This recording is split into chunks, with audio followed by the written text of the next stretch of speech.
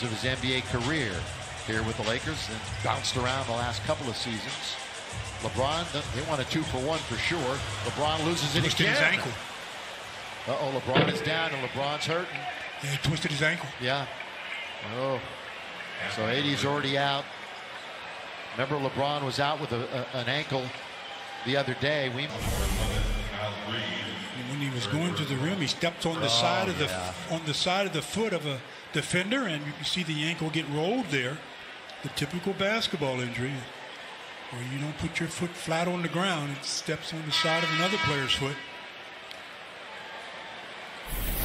LeBron is staying out on the court. Now it's into Schroeder. Second